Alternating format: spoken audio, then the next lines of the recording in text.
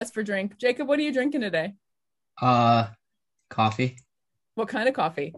Uh, just standard coffee, not Okay. not milligram coffee, but Not not blueberry. No blueberry. blueberry. No No. blueberry. Good morning, Dr. Brasher. How are you? Good morning, Dr. Decker. I'm good. Can you hear me all right? We can hear you just fine. What are you drinking this morning? I'm drinking water, trying to stay. Oh, living on the oh, edge. That's I tried important. to coordinate Very my dangerous. mug. yes. I, my water's empty, so I should probably fix that, but I didn't. Instead, I'm belly up to the coffee bar here. So Listen, I went to my group fitness class last night and they worked me over. They wore me out, so I'm still recovering. the water's probably the best thing. The Yeah. students were talking about Death Wish coffee. It's like some super high caffeinated coffee that we're, Oh that they're not letting me have. For Oh, good I haven't heard reason. For this good before. reason. It's 300. Let me grab my bag so you guys can at least have a visual. Just a second. All right. Good morning, Corey. Hello. What are you drinking, Corey? Uh, water, but I was considering making coffee. oh, go for it. Make coffee. It's only 1054. You got time. I mean, seriously. I mean, It'll not be like my second one of the I, day. did, I didn't mean it like that. Oh, oh, wait. Oh, so put the picture closer. Let's put the little skull and crossbones is kind of cute. Oh, oh, I like that.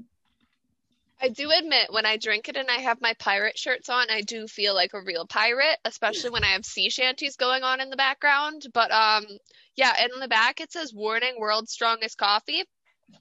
Oh my gosh, that's insane. Well, I used to work I at a love that. coffee shop, and I don't think you've heard my stories, but they used to have let me have unlimited coffee.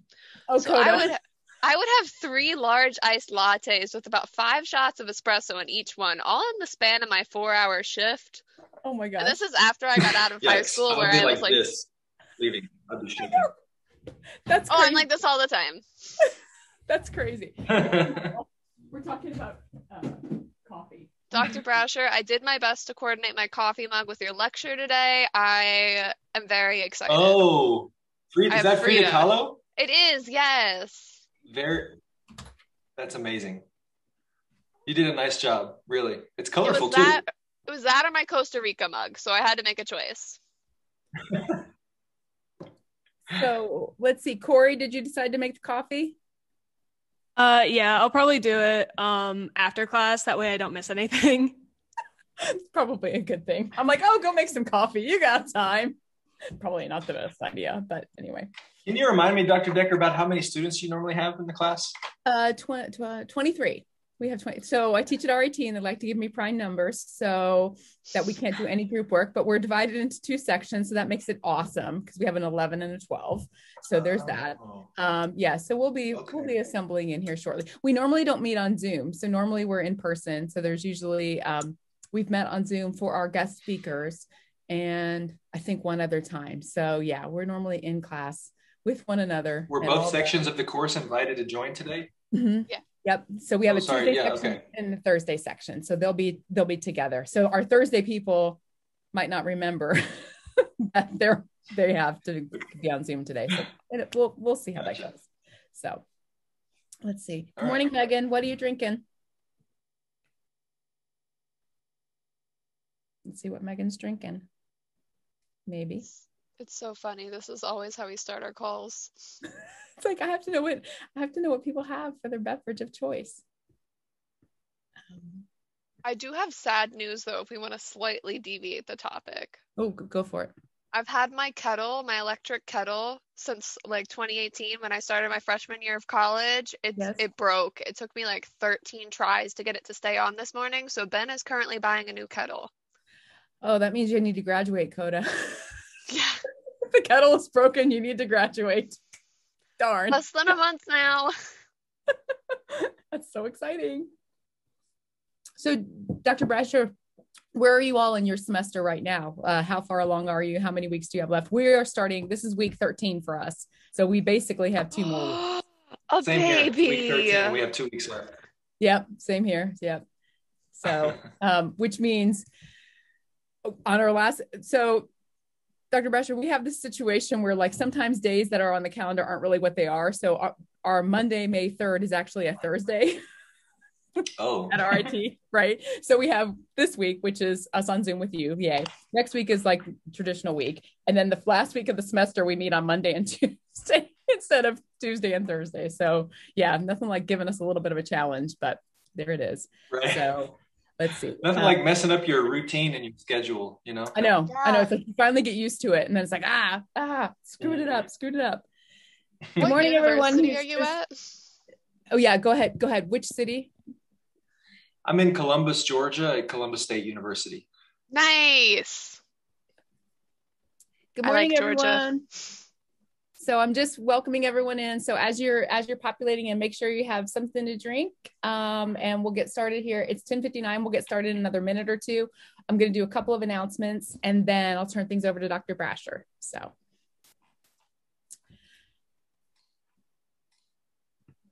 So, Dr. Brasher, we're going to get snow tonight. What about you? Yeah, we don't get snow this far south very often.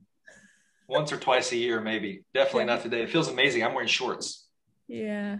Yeah, I walked over to mail a letter this morning and uh it was it's in the 40s. It's pretty chilly. I'm originally from Atlanta, so I do have the blood of Oh. the, the blood of the south as it were. I'm used to warm weather. I should say, I should say that way. Um, That's right. I remember you mentioning that. Yeah. Yeah. So this is a little this is a I've moved up and down, north and south, flip flop back and forth. I did my PhD at Mhm. Case Western and then went down to Kentucky and then back up north. So Mhm. it's like ah it's I kinda miss. Georgia I'm originally weather. from Tennessee, and uh, I didn't think it would be that different between Tennessee and Georgia, but I'm so much further south Yeah. now that the summers are just infinitely more brutal and humid than they were in Tennessee. And I thought it was Yeah. bad there. yeah yeah humid is the is the key and people say oh you you like the heat yeah i like the heat but not the humid so hotlanta or atlanta yeah that's a lot and but i would take 115 degrees and dry of grand canyon any day over humidity in the in the 80s and people up here say oh it's so humid i'm like please Go to Atlanta in the summer or Columbia, South Carolina, then you'll know humid. Know, you'll know what humidity is in one of those places. Okay, looks like we have most everybody here. So I think we could probably go ahead and get started. So um, good morning, everyone. So it's a little bit after, it's 11.01 right now. So um, today's class today, or today's class for History through 22. So we're all together. So you probably see on the participants or in your um, gallery view, you probably see some friends from the other section that you haven't seen for a while. So that's great. So we're coming all together for our guest lecture today with Dr. Jordan Brasher. So he's going to start in just a minute. I'm recording this for uh, anyone who can't be here. I think there's one student who can't be here. So I'll post that link after today so that you have access to it as well. Um, couple of announcements. So um, first of all, I'm going to try and share my screen. Let's see how this works out. Um, give me one second here.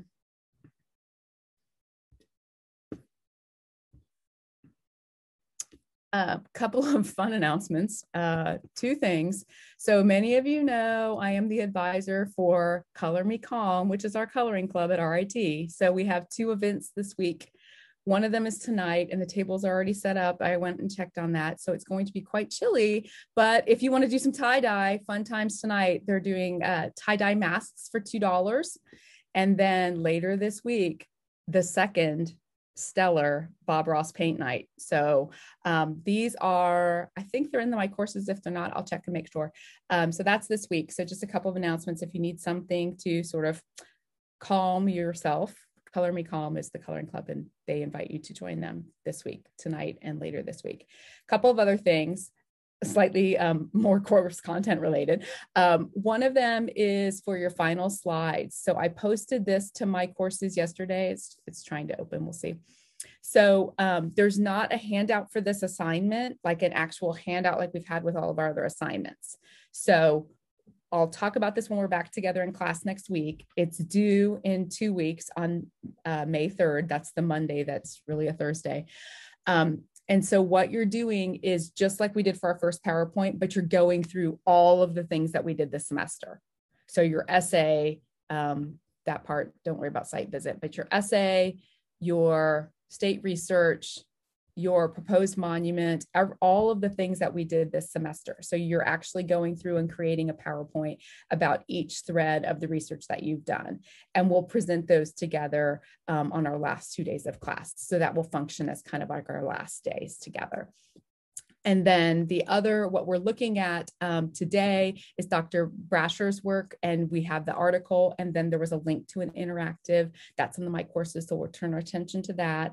Um, the only other announcement I have is that I have completed the grading for all of the assignments, particularly the project. That was the one that was taking me the longest to um, evaluate. So for context, Dr. Brasher, the students were going through, they each chose a state and then they identified 25 monuments and memorials in that state and we're building a database um, of monuments and memorials in the US. So each student adopted a state and then came up with this sort of sense of that state's identity through that sort of very brief sample selection that they did and then they've been populating it to the database and, and doing other things with that data. And then they just turned in some visualizations using Tableau. They just turned those in yesterday. Um, so for if you go excellent, the, I love that. Sorry, I don't want to cut you off. I'll say no, more no, about that in a second. No, no, that's fine. That's fine. Um, and so for the students, so go through your My Courses and look at all of the grades that have been deposited. Everything that you've turned in should have a grade accounted for it. If you're Joe, I might have screwed up your grades. Hi, Joe. Sorry about that.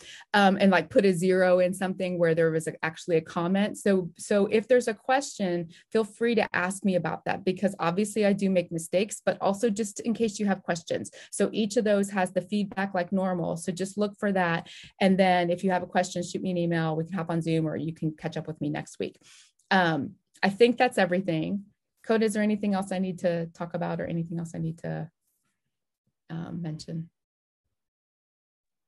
I feel like there is, but I have the memory of a squirrel, so I cannot remember for the life of me what it is. I'll make a note and then I'll I'll say it at the end. Um, and then throughout the presentation, Dr. Brasher, do you mind if students put things in chat for questions to take later? Like if they're thinking of it right now, they could put it in chat and then we could just go through the chat at the end if there are any questions. Is that okay with you? Yeah, that works. That's great. Mm-hmm. Perfect. Perfect.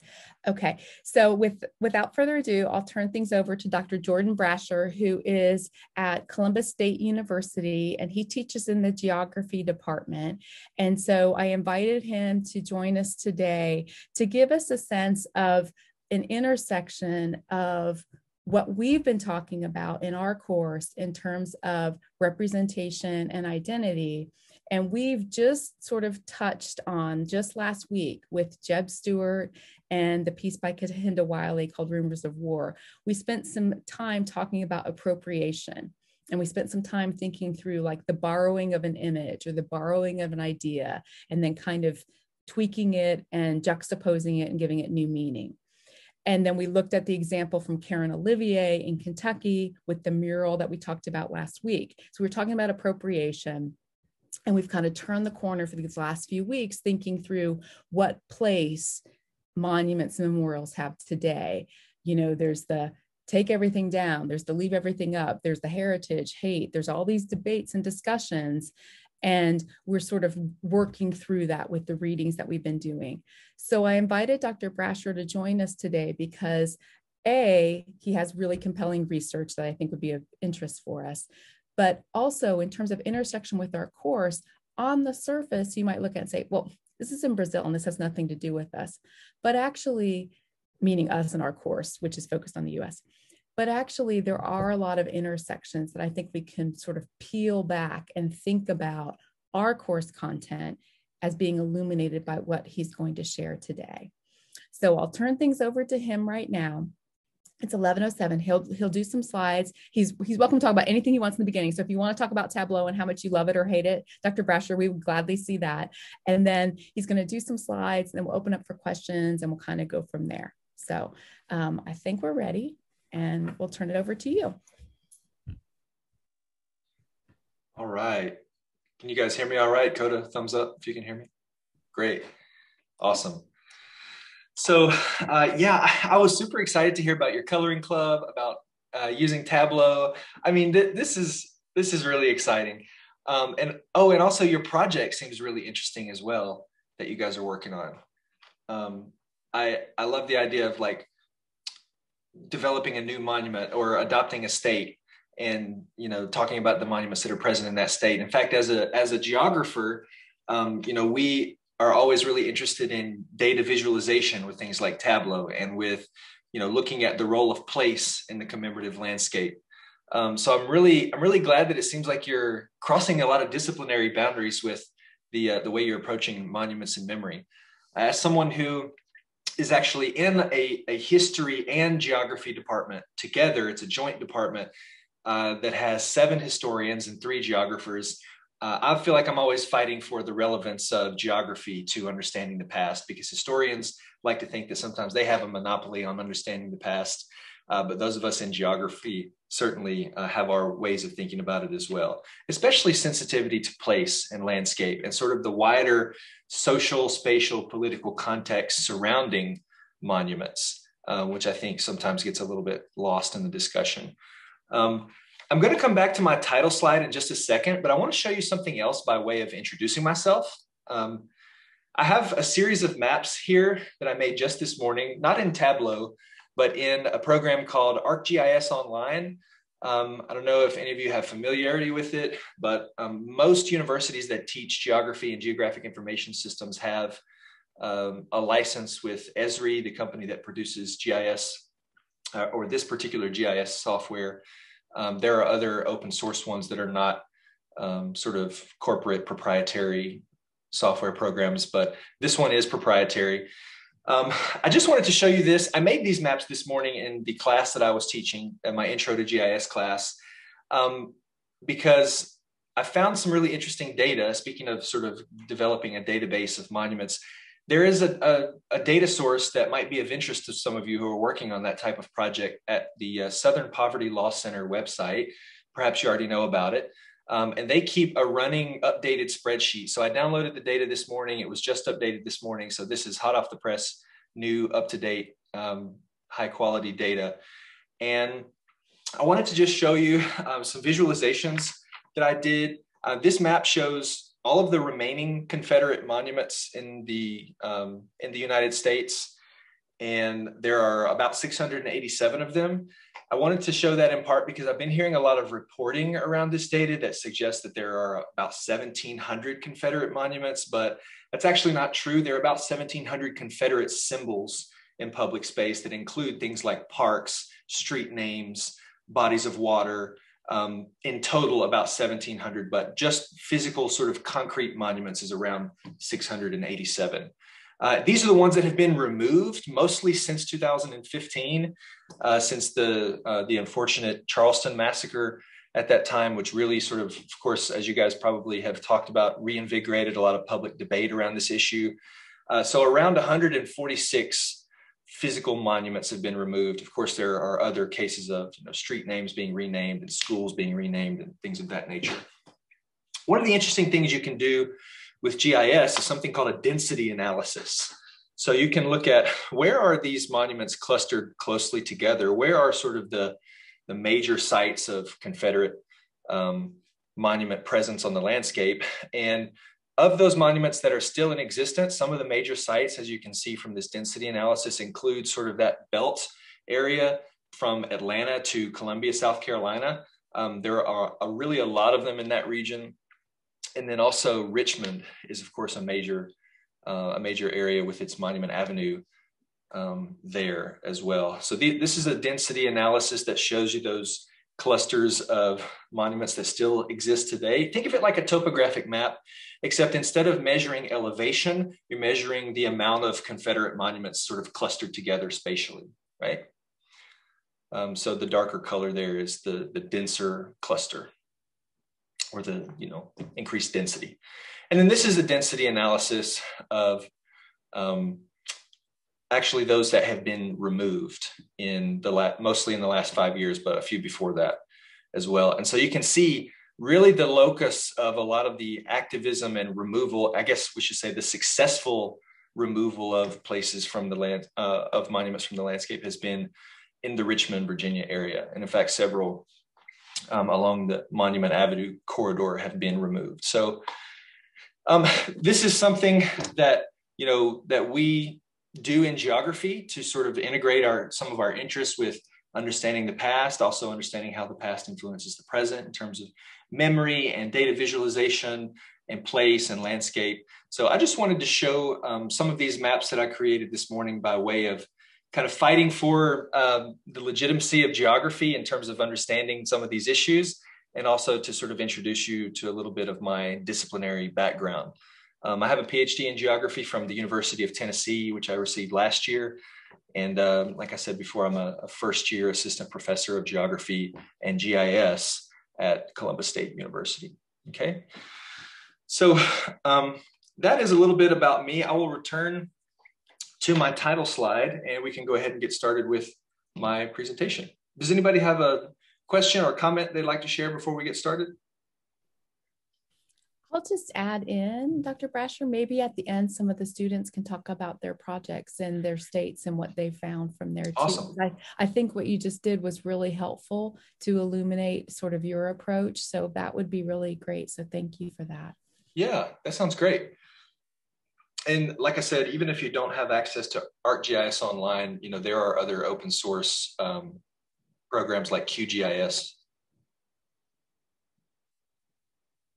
oh, sorry. I was just hearing someone in the background. Was that talking over someone?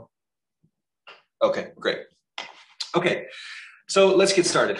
Um, sorry, my slides are not looking, they're not looking great. Let me see if I can reopen this really quickly. And I'll just add that we do have ArcGIS. We have a site license here at RIT. So some of you may have used that in a course or two. So I see a couple people shaking their heads. So, um, and, and it is a really, really useful tool for a lot of different applications. So you might think of it as being based in geography, um, but, but we use it across campus and other um, fields too. So. Awesome. I love that. It's so, also just fun to learn how to use. It's a cool skill you can add to your resume. Who's the senior in the group? We got Code as a senior, other seniors adding skills to those resumes. okay, hopefully that looks a little bit better on the screen. I don't know what's going on with my PowerPoint looked really nice before I downloaded it and now it looks funky. But anyways, um, it looks fine, Jordan. It looks fine. I mean, we see we can see like the main view, and then we see like a little preview window off to the side. So I, it looks fine. Oh. So um, yeah, so it's okay. Okay, great. Yeah, no worries. I was hoping that you could only see that one, that one slide. Maybe hit that little button, the little, the little TV looking button. yeah. Zoom, Zoom has not made presenting easy. I have not found a way to have one screen and have presenter notes open and just the presentation. Oh, that's that's working. That Jordan, we can't we can only see big Columbus State University, big creating Confederate pioneers. So if it's working on your end, it's working on ours. Okay. Can you see um, my name and the date in the bottom left corner yep. in the whole slide? Okay. Perfect. We got the whole slide. And, and trust me, we're a, we're a forgiving group. The students have seen me struggle every single day, so so this okay. is nothing new. In fact, you're looking quite elegant compared to my foibles. Well, so yeah, so I, re- I, really thought I had this down to a flawless science at this point after doing it for about a year, but there are always hangups, right? No, it looks great. So if you're ready, go ahead and roll. But but we can okay. wait too. That's fine.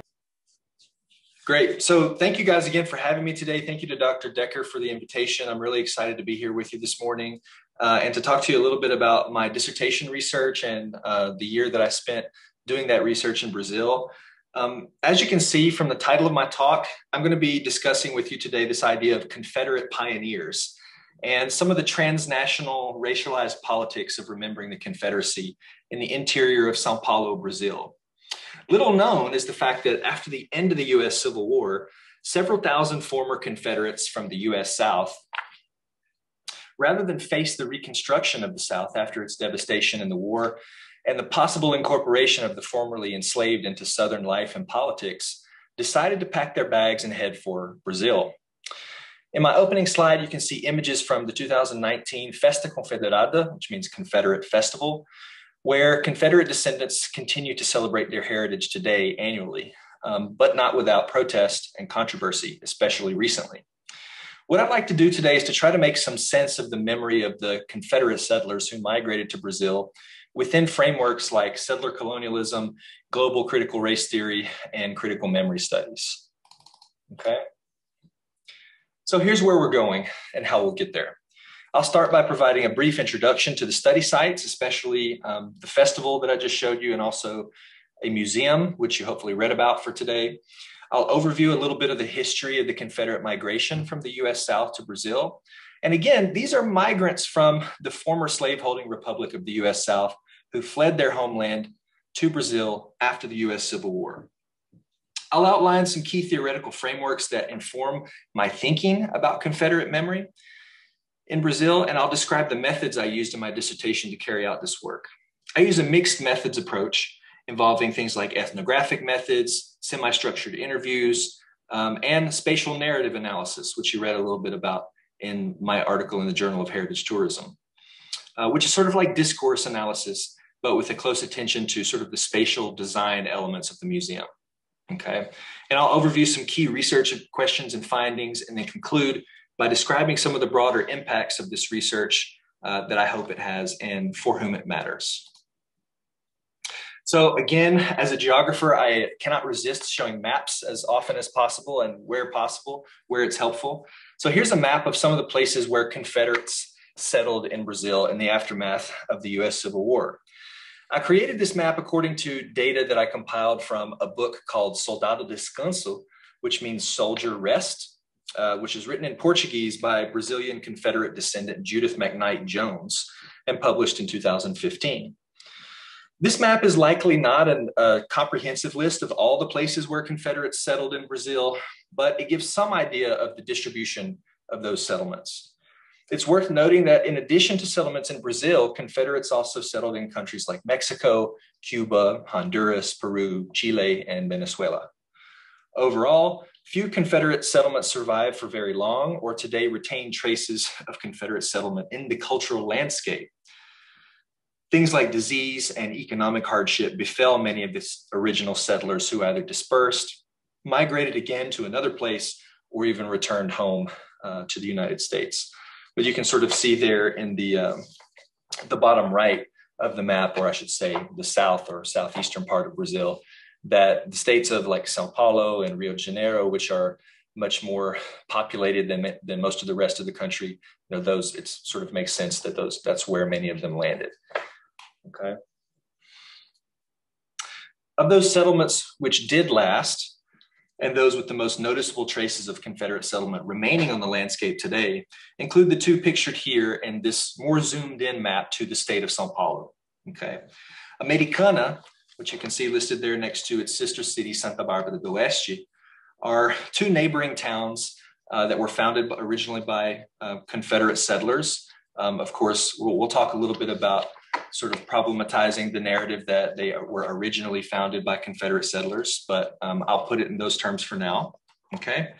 And the Americana name is pretty interesting because, um, you know, it reflects an historiographic issue actually with trying to understand how Confederates or how many Confederates migrated to Brazil. So census takers and record keepers often failed to distinguish whether the settlers were coming from Confederate or Union states in the aftermath of the Civil War and often lumped them together and just referred to them as Americans. The legacy of this today is that, in my experience, residents of Americana that I spoke to and that participated in some of my research um, rarely had a frame of reference for who the Confederados really were, which is the, the Portuguese name for the Confederate settlers who migrated there, and instead recalled them often as Norte Americanos or North Americans who migrated to Brazil. Nevertheless, these are the primary known surviving Confederate settlements, and again, the study sites where I carried out my research.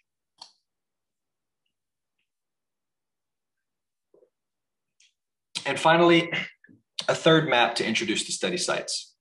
This map is taken from my article in Focus on Geography, which um, Dr. Decker mentioned is posted hopefully in your learning management system. It's sort of a, a, a more digestible, um, shorter, and more interactive and dynamic article that um, that explains some of the work that I did here around the Confederados and this, this commemorative project. Okay, as you can see, I've highlighted these two key study sites where the museum is located It's called the Museu da Imigração, uh, which means Museum of the Immigration, referring to the Confederate immigration, and then also the Festa Confederada, the Confederate Festival. You can see the museum is sort of located in downtown Santa Barbara do Oeste, in the city, in the more urban part of the town, in the downtown plaza. And then the, the Confederate Festival is in a more rural location, it takes place about 20 to 30 minutes outside of town. And um, you actually have to take uh, sort of a dirt road to get there. It's, it's pretty remote. Okay. The Festa Confederada is an annual celebration of the culture of the antebellum South during an era in which chattel slavery defined its political economy. Although it might be hard to pick up on that just from attending the festival's activities. The festival, like the museum, is organized by Confederate descendants, and the traditional music, dance, dress, and cuisine of the American South is celebrated, displayed, and performed for around 2,000 visitors each year in April. The festival has taken place since about 1980 with some intermittent cancellations due to weather conditions. And interestingly, in 2003, um, out of respect for and, and maybe even revolt over the American invasion of Iraq. And so there, uh, I always like to mention that because there was a, there's a news article I came across in the archives that um, the, the lead organizer of the, um, the folks who organized the festival, it's called the Fraternity of American Descendants. Um, she was quoted in a local news article as saying that we didn't feel like it was proper to have a festival celebrating uh, what they framed as American culture while the United States was invading Iraq in 2003.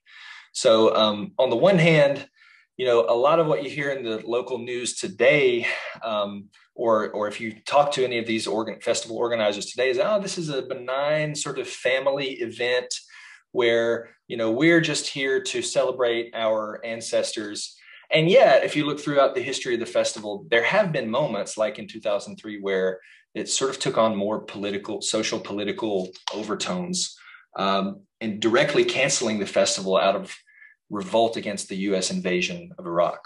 So um, I, I like to point that out.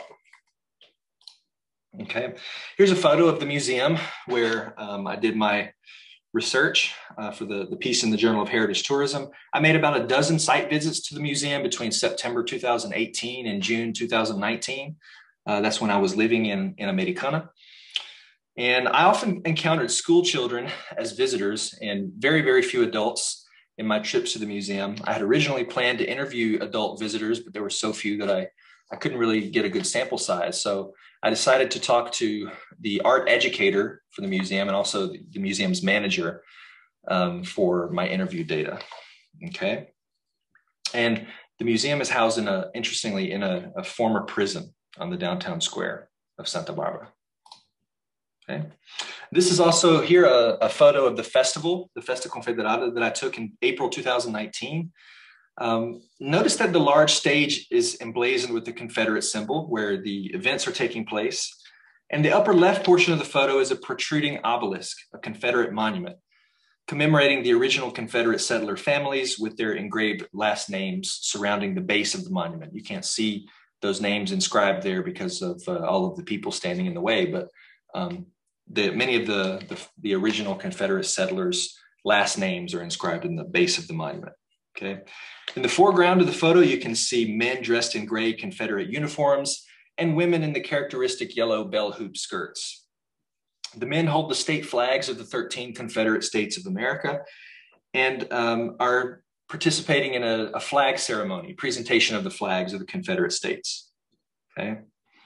In addition to ceremonies like these, the stage was filled throughout the day of the festival with Southern rock and roll and country music and renditions of the work of famed contemporary singers like Alison Krauss, Alan Jackson, and others who notably were not alive during the uh, antebellum pre-Civil War years, right? uh, festival goers enjoy these events with beer and uh, prato confederado or a Confederate plate, as they call it, uh, which integrates things like Southern fried chicken and biscuits alongside some more traditional Brazilian dishes like farofa and vinagrete. Okay, uh, so there's sort of this hybrid cultural hybridization um, taking place at the same time as well. Okay. So let's look a little bit at some of the historical background in some more detail. Um, as I mentioned previously, rather than face Reconstruction, some eight to 10,000 Confederates migrated to Brazil, which importantly had yet to formally abolish slavery at the time of the end of the US Civil War in 1865. Okay, Brazil would, would not abolish slavery formally until 1888, so another 23 years. Um, and it would also be the last country in the Western Hemisphere to, to formally abolish slavery. Okay. Primary and secondary source documentation from the letters that Confederate migrants sent home to the states and census records indicate that the similarities between the US and Brazilian societies especially in terms of their similar racial hierarchies and economic systems built on chattel slavery, at least in part shaped the desires of Confederates choosing Brazil as a migration destination. The work of historian Luciana Brito and political economist Celio Antonio Alcantara Silva have made this case provocatively. Uh, and yet much of their work has been published in Portuguese. So one of the things I wanted to do with my dissertation was to synthesize some of that and publish it in English. Okay. Um, yet, sadly, historical accounts that have been written in English um, mostly memorialize rather than critically analyze this Confederate migration, largely excluding the role of racism in creating the conditions for and shaping the Confederate migration to Brazil. Uh, an important new book on this subject, pictured here, was just published earlier this month uh, by fellow geographer Dr. Alan Marcus. I've actually yet to get my hands on a copy of the book or read it yet, but um, if you're interested in uh, looking at some relatively new research published in geography on this subject, uh, that's a great place to go. I'm hoping to get my copy soon. Um, my research differs a little bit from Dr. Marcus's, though, in the sense that it, my work deals more explicitly with the politics of commemorating the Confederacy in Brazil today, rather than necessarily examining some of these social and environmental forces that shaped um, the, the migration historically. Um, although certainly that historical work has and continues to inform how I interpret the way that Confederate memory politics are unfolding on the ground in Brazil today. So I'd like to say a word about some of my, my, my two kind of key theoretical lenses that I'm using in my work. Um, first, let's examine a little bit about settler colonialism. Settler colonialism is different from other kinds of colonialism uh, in the sense that it seeks to replace or more directly ethnically cleanse or commit genocide against the original indigenous population of the colonized territory and repopulate it with a new society of settlers. Settlers often develop a collective place based identity and attachment to the land that they colonize and control. Um, and they like to also control typically the history of that colonization to justify continued settlement, occupation, and colonization. So that's sort of the part where memory comes in, right? Examples of settler societies include places like the United States, Australia, Israel, Kenya, and Argentina, to name only a few. I argue, following scholars like Richard Gott and Desiree Poets, amongst others, that Brazil should also be considered a settler colony, despite the fact that it's not really received a lot of attention in the scholarly liter- literature as such, and is not often what comes to mind when we think about settler colonialism. Uh, there's a reason for this, which I won't go into now. I go into a little bit in my Journal of uh, Heritage Tourism piece. But um, in particular, I theorize that Confederados can be considered what I call settlers twice over, right? Having settled or descended from settlers once in the US and then settling uh, once again a second time in Brazil. Settler colonialism helps me make sense of the narrative presented at the Museum of the Immigration and, um, and, and also helps me understand this narrative of Confederate pioneers that emerges through the museum's exhibits and texts. Okay. My other theoretical lens that I'm using here is uh, global critical race and racism or global critical race theory. Um, this is a framework that um, I'm citing based on uh, the work of Michelle Christian, who, um, you know, I'm a little actually pretty partial to her work. She's on my dissertation committee at University of Tennessee. She's a sociologist doing some really, really great work. Um, but this framework of global critical race and racism theorizes race as a, a modern global project that takes shape differently in diverse structural and ideological forms across all geographies around the world, but is based in global white supremacy and shaped by the histories of transnational racialization processes. It theorizes racism as both a permanent phenomena and flexible in its expression across the globe. So racial categories are unevenly constructed, and identification as white, for example, may mean different things in different places. But ultimately, whiteness remains a deeply ingrained racist standard of desirability and social hierarchy, even as it becomes malleable across different spaces, places, and cultural and historical contexts. Okay. Taken together, settler colonialism and a global critical race and racism framework helped me to make sense of how whiteness is constructed in particular and how ideas about it move and take shape from the US to Brazil, uh, as well as how it continues to inform the unfolding global transnational political struggle uh, around Confederate commemoration. Okay, so uh, I'd like to highlight a little bit about my methods as well. Okay. Um, I'll start by explaining the method I used in my analysis of the Immigration Museum and then describe the methods I used uh, at the festival. Okay. At the museum, I adopted a qualitative methodology called spatial narrative analysis. This method builds on the insights of discourse analysis, which understands texts written on exhibit plaques as not the only texts, so to speak, that contribute to the overall narrative of a museum. For example, the selection of which artifacts to include or exclude and how they're positioned in, in the spatial arrangement of uh, exhibits matters to the overall narrative that's communicated, right? Some artifacts or exhibits are given prominence, whereas others are located more on the periphery, right? And so I'm arguing with spatial narrative analysis that um, the location of the arrangement of, and design of exhibits in museums say as much or sometimes more about the actual uh, the narrative being communicated than the text being written on plaques. Okay. Um, where visitors' attention is drawn and where ideas are located then says something about their importance and their prominence. I emphasize in particular the centrality and peripherality of exhibits and texts and look at whose histories and experiences are given center stage in the museum and whose are hidden, quite literally sometimes, in the shadows.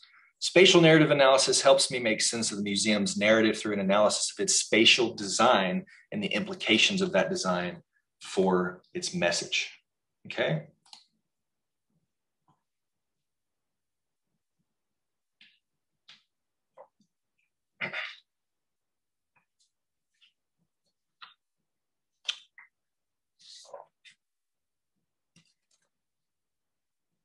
see. Sorry, I lost my place in my notes here. Okay, at the um, Confederate Festival, I took, like I said, a mixed methods approach involving um, interviews, ethnographic methods, participant observation, and archival fieldwork. I explored the archives at a, um, a, place called the Centro de Memoria, the Memory Center, uh, amongst some other places locally in, uh, in Americana, Santa Barbara do Oeste, and the surrounding area including in a city called Piracicaba. Um, I interviewed Confederate descendants, festival organizers, uh, festival participants, and tourists. And I also interviewed members of an organization called UNEGRO, which stands for the Union of Black People for Equality. It's like a civil rights uh, organization uh, that's it's it's very prevalent throughout Brazil, but you know, I, I, focused on you know talking to some folks who were part of the local Americana chapter of UNEGRO and who were sort of organizing some protests around the use of Confederate iconography at the festival. Okay. Um, and I, I, attended and observed the Confederate Festival in 2019 and lived and studied for an academic year between September 2018 and July 2019. Okay. Here are the primary questions that I'm asking with my work. Okay, this is what I, I want to know. First, how does the museum, the Confederate Museum, represent the history of Confederate migration? To what extent and where are racism and slavery being discussed in the museum's exhibits? Second, how does the Confederate Festival commemorate the Confederate migration? How absent or present is the memory of slavery, especially at the festival? I wanted to know whether, how, and to what extent the connections between slavery and settler colonialism were being romanticized with respect to the way that Confederados sort of interpret and commemorate um, their, their ancestors' migration to Brazil. And here's what I found. Okay, at the museum, I had three roughly major findings. First, as I alluded to previously, I found that the museum's overall narrative em emphasizes the artifacts and experiences of white Confederate settlers. No surprise, given that the white Confederate settlers organized the museum and donated much of the artifacts um, that make up the museum's exhibits. A sewing wheel, for example, is featured prominently here in the exhibit space, as well as a Confederate woman's dress, um, as sort of centrally located focal points in the main exhibit room. And like I said, this is perhaps to be expected given that the museum is curated by local Confederate descendants, including the manager, actually, the, the manager of the museum is also a Confederate descendant. So the person who is sort of responsible for the curation and the, the entire commemoration and, and interpretive process at the museum is, in fact, a Confederate descendant herself. Okay. Second, I found that the museum mentions slavery only once and that the context in which it is mentioned obscures the centrality of enslavement um, and its central role that it played in the causes and consequences of not only the Civil War, but also the Confederate migration to Brazil. I'll say a little bit more about this in the next slide. Okay. Third, the museum crafts an image of the Confederados as brave, bootstrapping, swashbuckling pioneers, striking out to make a new life with courage and valor upon their devastating defeat in the Civil War. In general, then, what I found is that the museum showcases what Confederados brought without discussing what brought them to Brazil. A desire to relocate to a place that, as closely as possible, resembled the defeated slaveocracy that they were fleeing.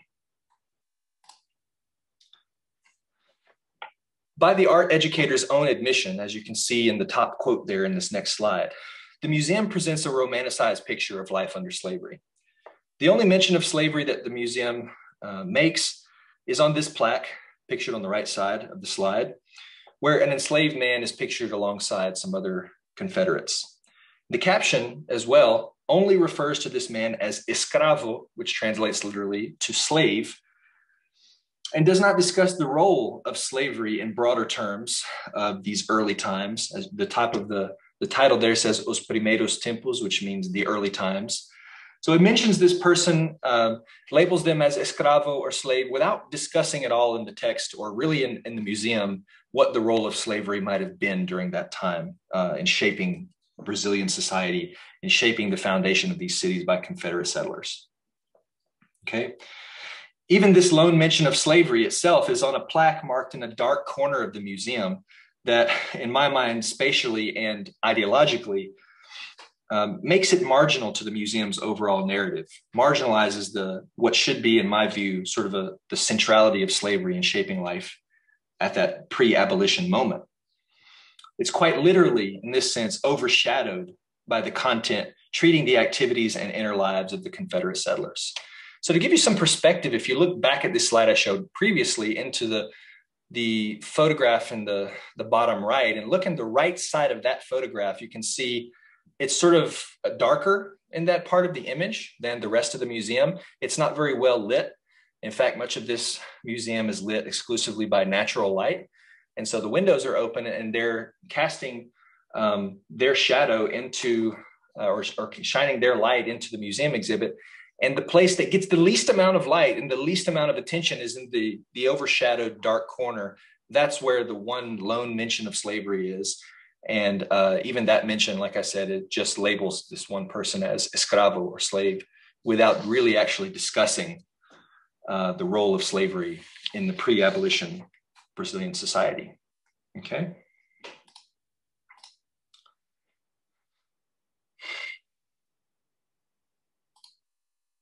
Oh, um, two other texts here that I have yet to mention are worth exploring to drive this point home before moving on to talk a little bit about the festival. Okay.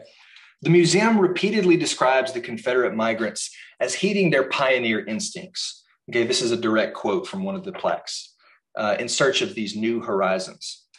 It also implicitly suggests that the lands the settlers occupied prior to arriving in Brazil were absent an indigenous presence.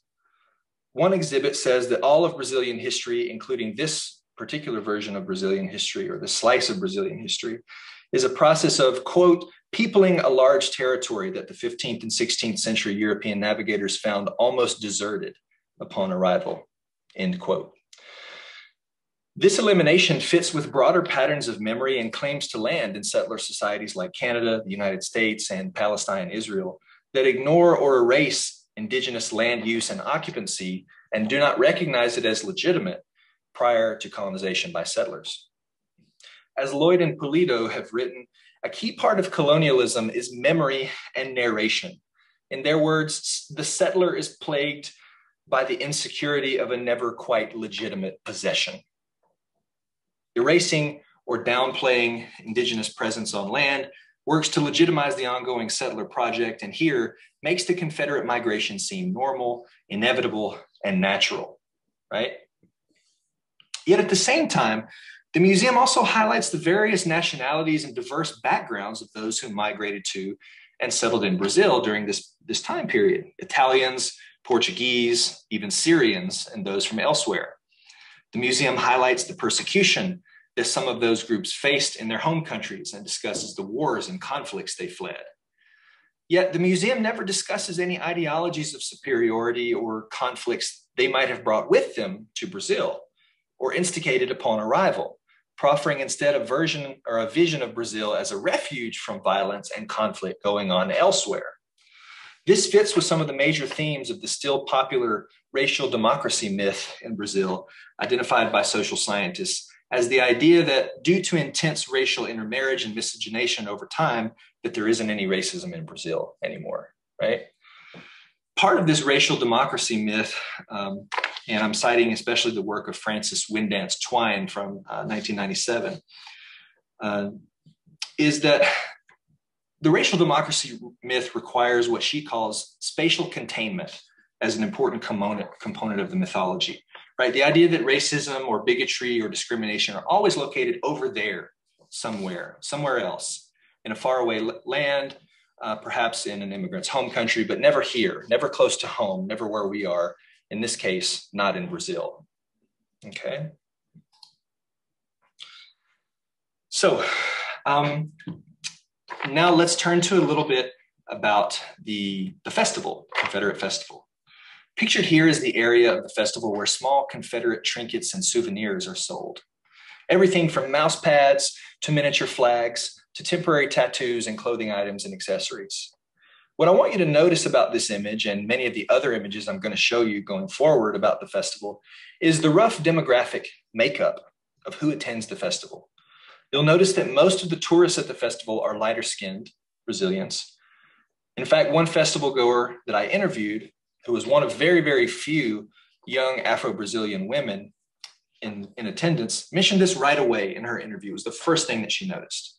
She recounts her experience translated into, uh, into English by me this way. So, the first thing I notice is that being Black, I always notice, I think it's automatic. We always do that. When you enter an event, you look, you think, dang, I'm the only Black person. When I entered, I saw a lot of white people.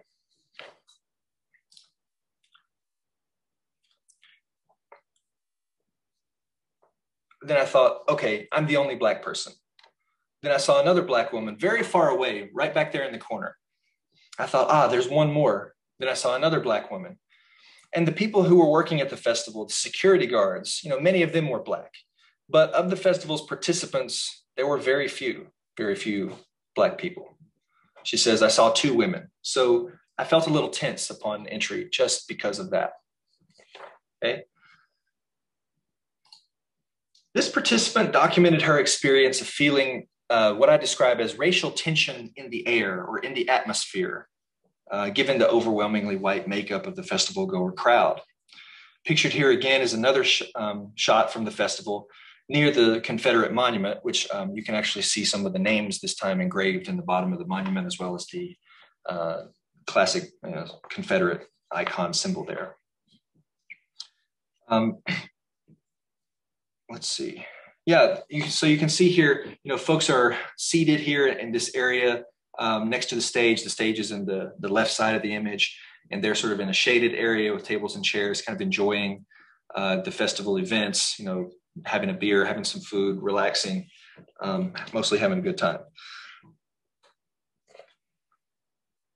But again, look at the demographic makeup. They're mostly, mostly lighter skinned Brazilians um, and not a lot of, you know, at least visibly Afro descendant people or Black people, right? And this becomes so, somewhat of a, a problem to um, explain and describe from my perspective as the researcher because I'm a, a, white North American gringo who has been socialized into one particular kind of culture and one particular way of thinking about race. Uh, and that's different. That, that sort of comes out differently in Brazil. So sometimes people that um, like Afro descended Brazilians would say, you're, you're white talking, talking to someone in Brazil. And to me, they look, you know, Latina or Latino. And I wouldn't necessarily think of them as white, but um, at the same time, you know, there, there is this, this pretty obvious element that most of the people who attend the festival are not visibly, you know, darker skinned Afro descendants. Okay, so I just wanted to flag that sort of problematic um, issue there. Okay.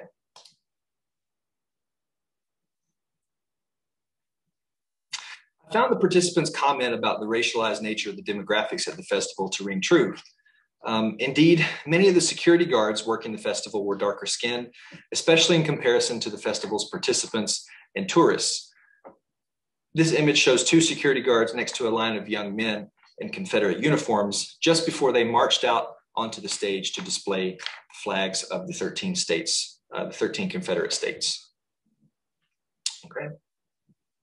And that little uh, image back, the little structure back there is actually a chapel in which um, it was actually you know the first Protestant chapel in Brazil, according to uh, according to the Confederates, uh, because they were actually the first to bring Protestant Christianity to Brazil uh, in a mostly Catholic and, and also sort of mixed indigenous and Afro um, descended, you know, religious environment.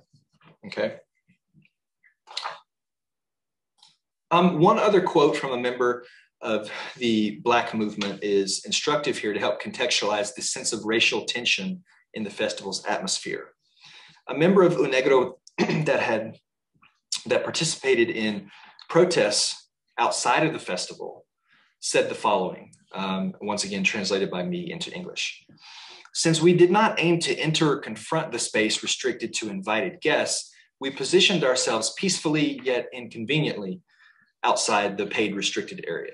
Uh, we were received even after having formed a discussion roundtable on the history of the Confederates and enslavement in Brazil with racist epithets and hostilities.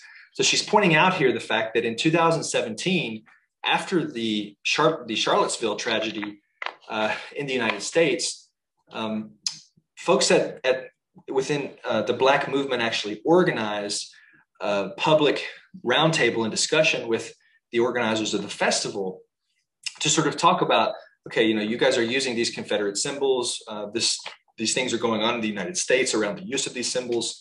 Let's talk about the history of them.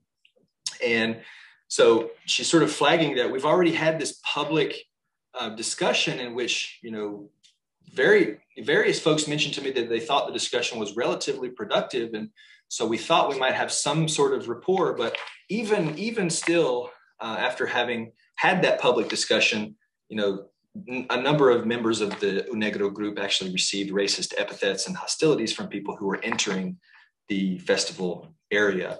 And this is the paid entrance area to the festival just outside where uh, the members of Unegro were uh, sort of occupying the space and registering their dissent around the use of Confederate symbols there.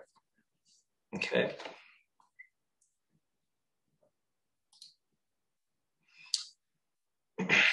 This participant remarked that despite having participated in a public debate with these festival organizers, they were received at the festival with racist epithets and hostilities. Some apparently shouted at them from passing cars prepared to enter the restricted paid entrance area.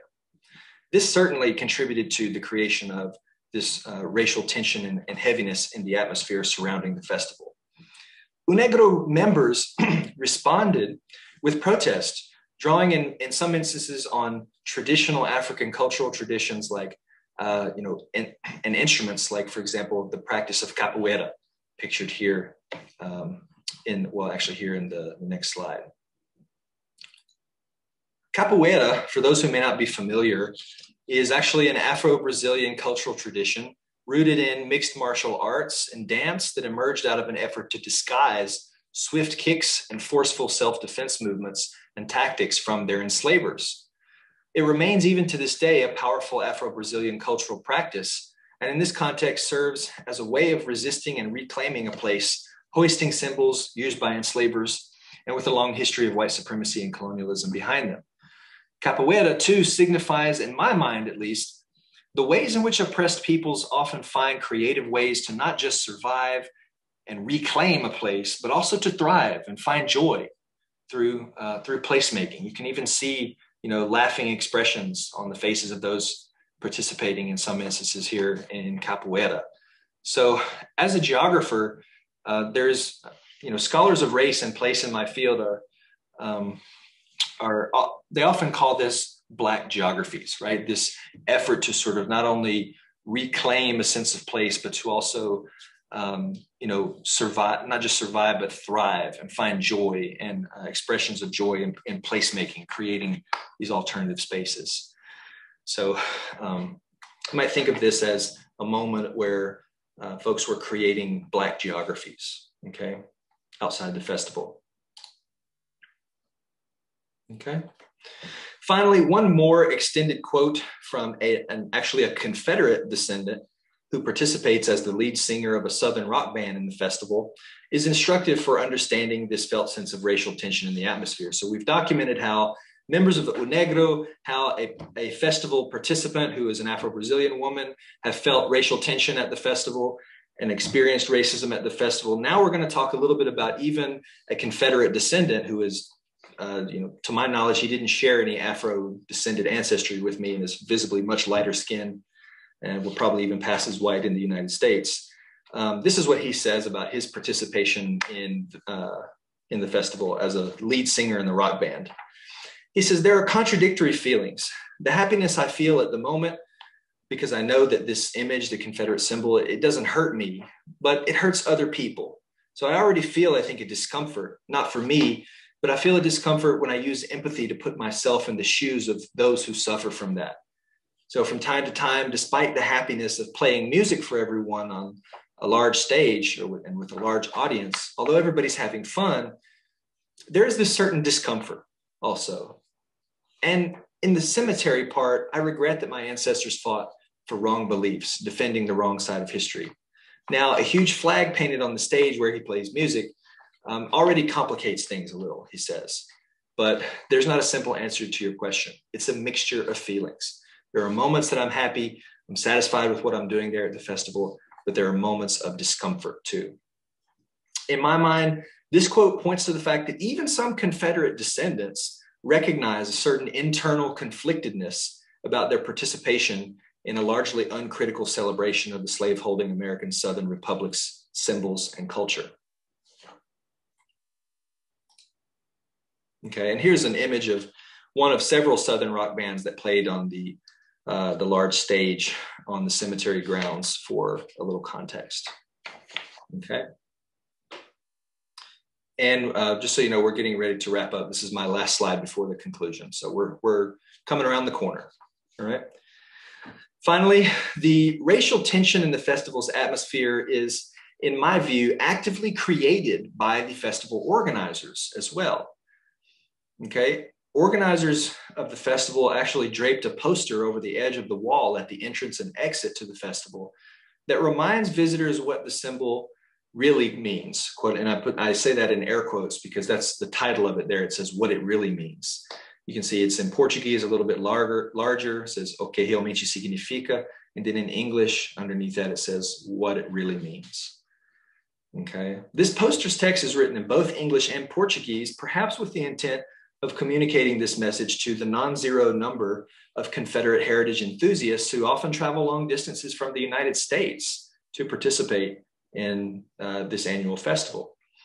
The poster argues essentially that the symbol is really a depoliticized Christian symbol in which red represents the blood of Christ, white, the protection of God, and the blue X, uh, the St. Andrew's cross, signifying Jesus' first disciple.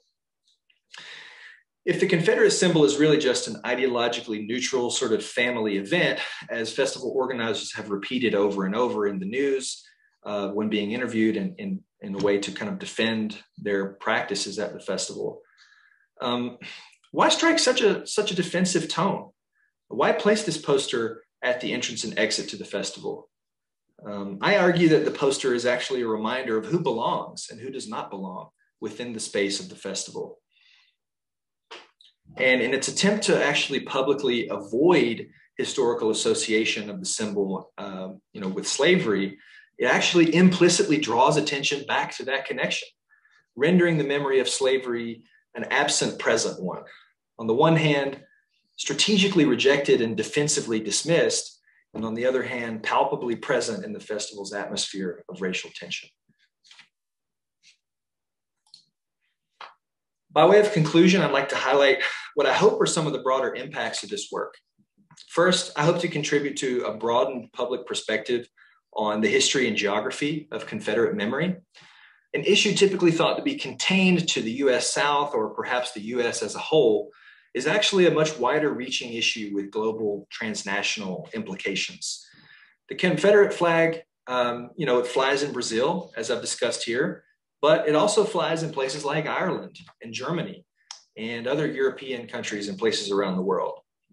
I argue that we need more research to understand how Confederate iconography and ideology becomes embedded into local landscapes and cultures and fits into larger racialized colonial patterns of cultural globalization and shapes and, and also how it shapes and inflames existing social tensions and religious and racial conflicts um, on the ground uh, in different countries and different societies and different cultural historical contexts around the world. Relatedly, I hope to also develop a somewhat expanded understanding of the transnational dimensions of white supremacy and settler colonialism in museums and at festivals. Although the nation state has long been the primary sort of unit of analysis of understanding settler colonialism, what I hope to have shown is that in alignment with this global critical race and racism framework, whiteness and white supremacy take place and come to matter and resonate across borders and across different scales and geographies. This research has implications as well for heritage tourism managers and planners, as well as museum managers, dealing with the transnational histories and memories uh, of difficult heritage, who want to curate culturally sustainable, thoughtful, honest heritage content that transparently and critically engages with traumatic pasts and pasts of, uh, of you know, involving violence, especially racialized uh, and colonial violence. Okay. Finally, I hope that my work challenges romanticized historical accounts of the Confederate migration that depict the Confederados as mere downtrodden, swashbuckling, bootstrapping pioneers in search of new lands, and as subjects not implicated in maintaining and perpetuating systems of settler colonialism, slavery, and racist and colonial violence. I hope to contribute to research in Latin American and Africana studies, and critical heritage and tourism and memory studies, and to Black geographies, um, to, to that work that's highlighting the contributions and memories of African descended and indigenous people in the Americas and the placemaking practices they employ to resist, survive, and thrive in the face of racist repression and erasure. Um, one thing I didn't actually include here in my slideshow is that um, there's a really interesting story that I think brings home some of the importance of this work, um, which involves two Confederate settlers who, uh, upon upon migrating to Brazil, actually um, lynched a police chief in the state of São Paulo because that police chief was faced with the decision of whether or not to actually use his department's resources to chase down and recapture escaped, you know, recently formerly enslaved people. And when the police chief decided he did not want to do that, these Confederate settlers actually publicly lynched the police chief.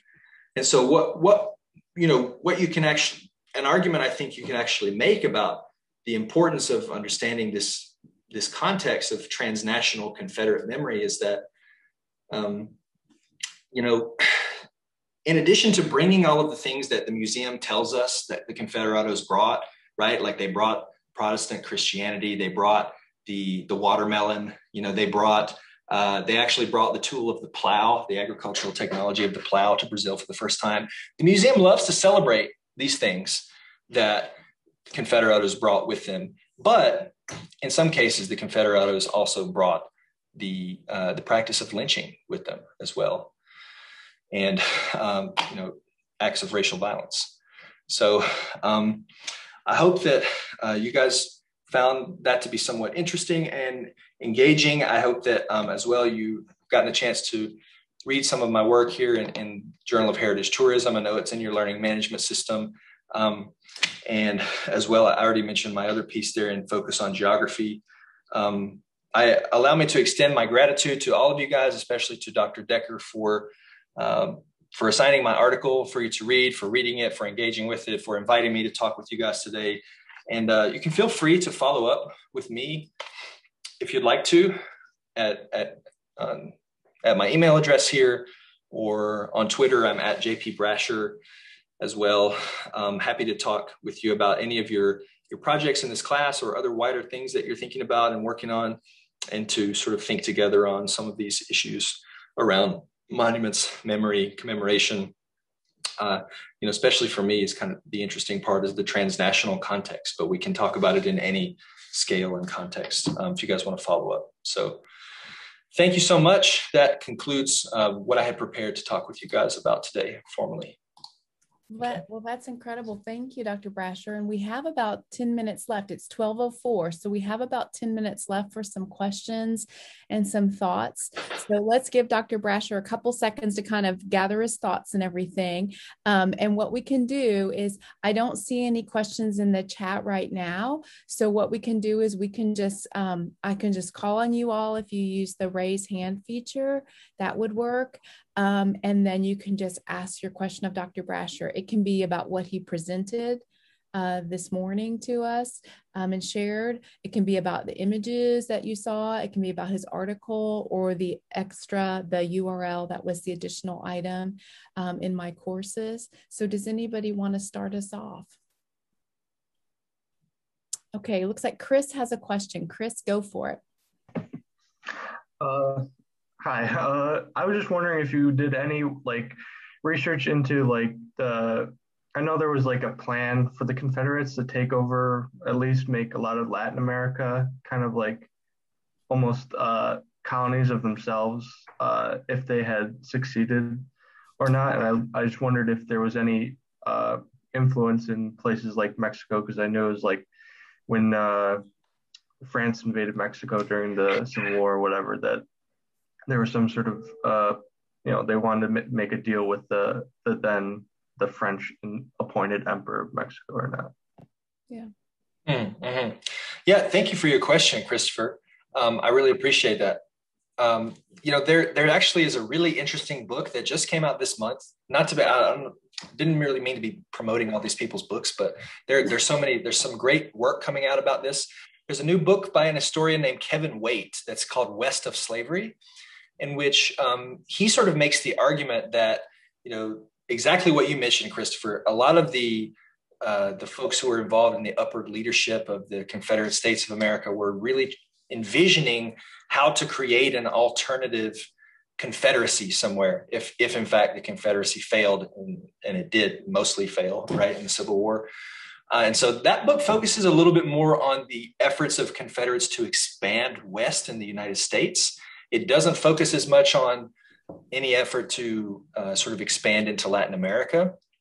Um, although I will say, at least from what I've read and from my research, it looks like any efforts to do that were mostly failed by the Confederates because, um, as far as I can tell, the only place that really retains much of a, a legacy or a lineage or sort of traces of the Confederate settlement on the landscape today is, you know, my study site, Americana Santa Bárbara d'Oeste in Sao Paulo State. I mentioned that they did migrate to a lot of other places, but they typically face too much hardship and disease to really create any permanent colonies or settlements there. You know, places like Mexico, Honduras, Chile that I mentioned before, Venezuela. um, you know, they migrated there, and then they were, they often, you know, they either befell, um, befell, they they came sick with a, a disease, and they perhaps died, or they had to move to find medical care somewhere. And in many, many cases, they actually befell such difficult economic hardship that they ended up migrating back to the United States uh, or to or elsewhere in Latin America. So, so the, that permanent influence of the settler or the, the Confederate settler society really only lasted, as far as I can tell, in, in Brazil in, in Sao Paulo state, where I did my work. That's a great question, Chris. Thank you for that. Other questions from um, those of you in class? Any, any other questions you have for Dr. Brasher?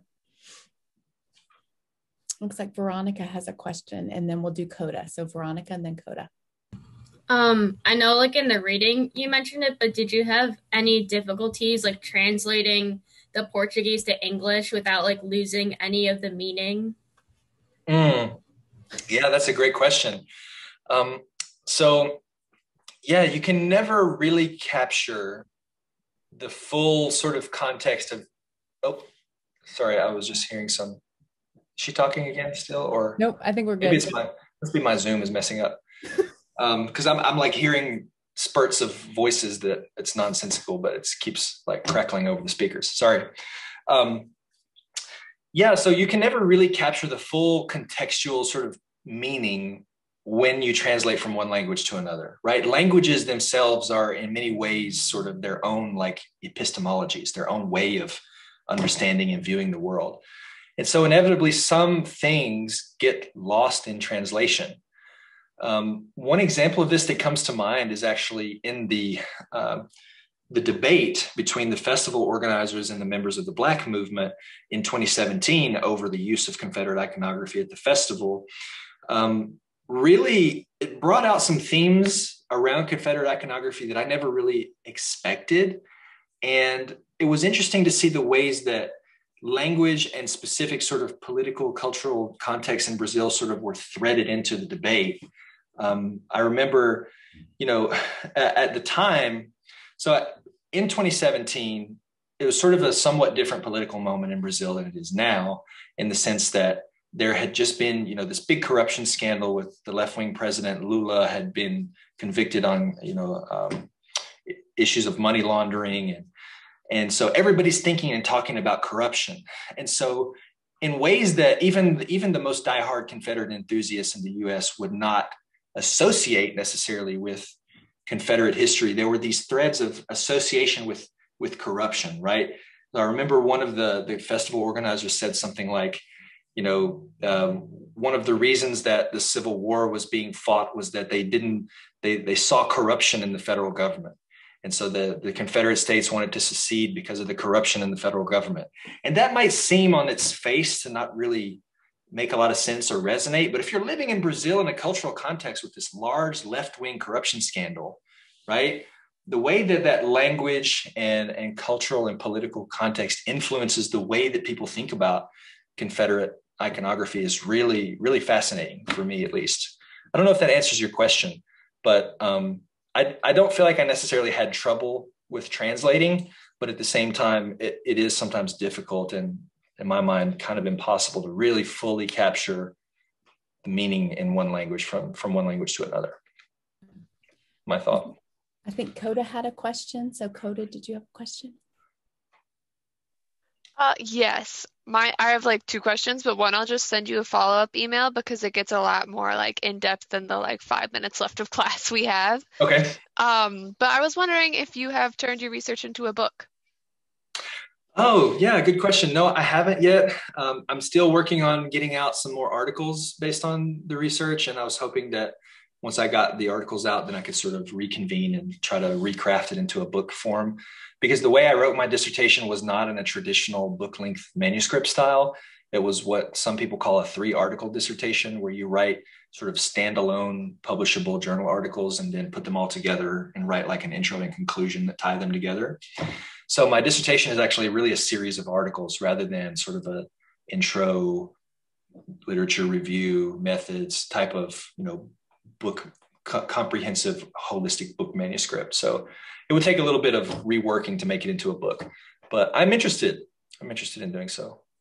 I think that was a great question too. Thank you for asking that, Coda, because it, it discloses some of the differentiations among all of our disciplines. So um, I'm in a history department, and my PhD is actually in art history, mm. and th- that is very much like.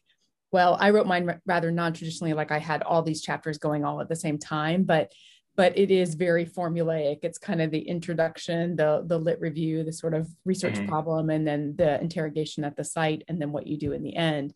And we rarely do the article first. It's kind of like get the big mm, thing mm-hmm. going. And, and so it's just interesting. So those of you, um, and for context, Dr. Brasher, this class is a gen ed course that's writing intensive. And so students oh. come from at least seven different okay. colleges in our class. So we have students from a wa- wide awesome. range of disciplines represented. So for their disciplines, um, and we're all undergraduates, for their disciplines, that that framing would be entirely different too. So um, I think we have okay. time, 12, 13. I think we have time for maybe one more question. Does anyone have a question to ask Dr. Brasher?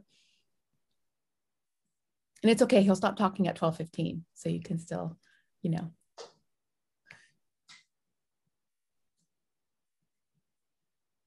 I'll ask one, but if a hand raises, we can defer to the hand. Um, how did you come upon this top, this specific topic? I mean, for your dissertation? I mean, it's it's mm-hmm. very. Um, it may not be something. Maybe it's something you encountered in undergrad or graduate school. But how did you come upon the topic? Yeah.